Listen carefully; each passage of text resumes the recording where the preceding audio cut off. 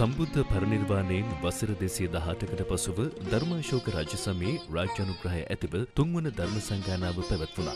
රටවල් නවයක බුදුදහම විහප්ත කෙරුණේ එම සංගායනාවේ ප්‍රතිඵලයක් ලෙසයි. අශෝක අධිරාජ්‍යා සිය පුතුණුවන් වූ මිහිඳු මාහිමියන් ප්‍රමුඛ ධර්මදූත කණ්ඩායමක් ශ්‍රී ලංකාවට එවීමට සියලු කටයුතු සැලසුවේ. ඇසින් නොදුටු මිතුරු දේවානම්පියතිස්ස රජුට අනුග්‍රහයක් වශයෙන්. බුද්ධ වර්ෂ 236 දී ඉත්තිය, උත්තිය, සම්බල, බුද්ධසාල හිමිවරුන් සුමන සාමණේරයන් සහ බණ්ඩුක උපාසක ඇතුළු ධර්ම දූතයන් පිරිවරාගත් මිහිඳු මහරහතන් වහන්සේ අනුරාධපුරේ මිස්සක පර්වත මස්තකයට වැඩම කළා. මුව දඩයමේ යමින් සිටි දේවානම්පියතිස්ස රජු හා මිහිඳු හිමි අතර එදා ඇති වූ සංවාදය ලොව සුවිශේෂී බුද්ධි පරීක්ෂණයක් ලෙස ප්‍රකටයි. දේවානම්පියතිස්ස රජු මිහිඳු හිමියන් දෙසූ චුල්ලහත්තේ පදෝපම සූත්‍රයෙන් ධර්මාවබෝධය ලබා රටවැසියන් යහමගට ගැනීමට පියවර ගත්තා. එතැන් පටන් ශ්‍රී ලංකාවට නිර්මල බුදුදහම සමග මුසු වූ අසිරිමත් සංස්කෘතියක්, කලා උරුමයක්, වාරි රටාවක්, කෘෂිකාර්මික ප්‍රබෝධයක් මෙන්ම ධාර්මික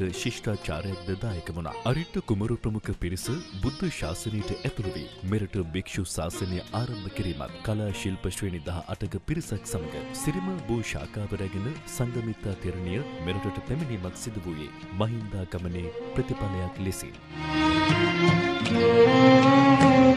ඇත්ත කෙටියෙන් දත්ත වැඩියෙන් සයිබ අවකාශය කළඹන වුවත් සලකුණ නිවස් ෆර්ස්ට් YouTube චැනලය අදම සබස්ක්‍රයිබ් කරන්න.